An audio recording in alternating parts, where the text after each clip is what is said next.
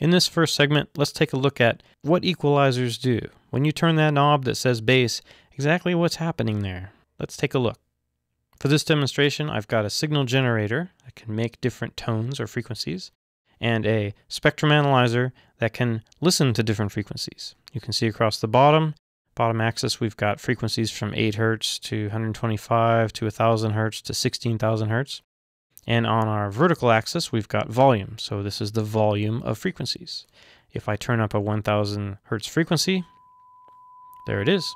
You can see we've got about 40 minus 40 dB there of 1 kilohertz, 1000 hertz. I could move this down to 100 hertz. And there we go. We've got the same thing, 100 hertz. Or I could zip it up to higher than I can hear, 20,000 hertz. And you can see the analyzer's listening to that for us. It's telling us that we've got whatever that is, about minus 40 dB of 20,000 hertz. But that's not all that useful in our equalizer discussion. Although equalizers could boost and cut 1000 hertz, they, they generally boost a bunch of frequencies around that point, not just one single frequency. So we really need some source that contains all frequencies, and that's called pink noise. Here's a pink noise sound, and what pink noise is, is just like I said, all volume, all frequencies at the same volume. So we got something that looks like that. Let me mute this equalizer here. Now you may say to yourself, well, how come this frequency here is almost, you know, these lows from 125 hertz on down are 10 dB hotter than uh, the frequencies the rest of the way up? And that's a flaw in this PAZ frequency analyzer software. It just seems to boost those low frequencies even when you've got a perfectly flat reference signal. So just use your imagination. When you see that a little bit high down there, it's probably about flat. It won't really affect us in our discussion. Alright, so we've got our, our same volume at all frequencies signal here, and let's EQ it. I'm going to open up a simple equalizer. This is the VT3 equalizer from Massey plugins, and it's just bass, mid, and treble. If we do something like boost the treble, you can see we're boosting the volume of those frequencies. So from about 3000 hertz on up, we boosted the volume of those frequencies. There it goes down, boosting up. We can also cut them. We're cutting the volume of those high frequencies.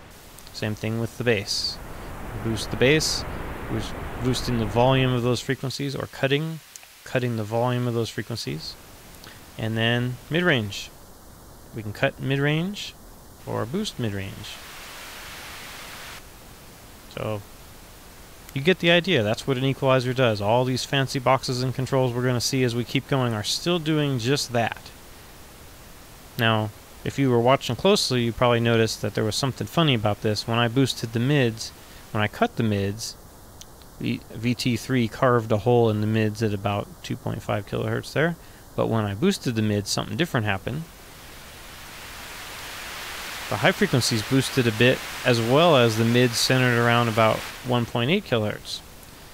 That's the kind of thing that these vintage or good sounding equalizers will do. They're not really as surgical. They're not doing exactly, you know, boosting mids at the textbook definition mid range of 1 kilohertz they're doing something a little bit different that may sound better. Still feels like mids, but it includes something else, or there's some clever distortion or dipping they're doing at a different frequency to trick your ear. There's a lot to this EQing thing, and uh, this is a cool sounding EQ because of what it does, and you just you just witnessed it.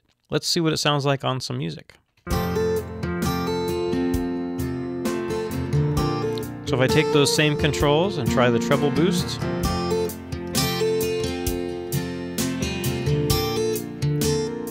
see it on the analyzer here. I brought those, those highs up. And same thing with the lows. Mid-range.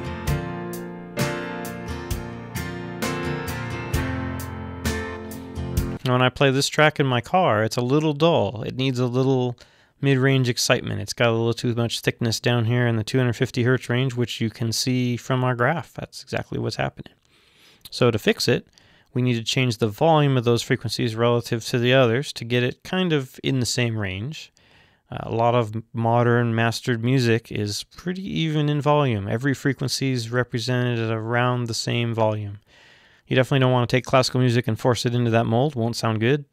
Or individual tracks. Don't try try to make your kick drum have every single frequency represented at about the same volume. But a dense, you know, rock pop dance mix, that's kind of the current trend to have them all about the same volume.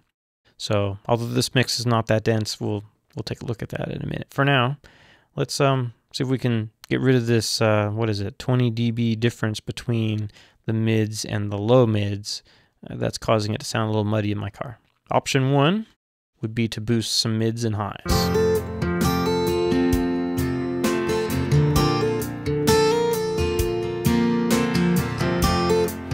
I don't know about you, that sounds that sounds pretty good in my headphones. Or option two would be to just cut this stuff here and leave the mids and highs, which is a completely different sound.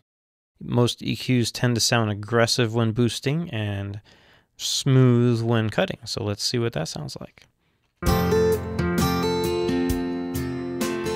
And I'll boost the volume overall to make up for that cut.